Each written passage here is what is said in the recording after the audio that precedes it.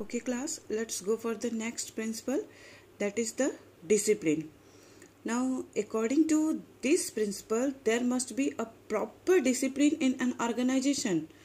And every employee must follow the rules of the organization and comply with the terms of agreement it means what should be given in the agreement the employee have to follow it. For example as you people are having your agreement that is your diary and you have to follow the rules and regulations which is written in the diary. You have to wear the dresses according to the uh, according to the rules which is given in the diary. So discipline is must in an organization.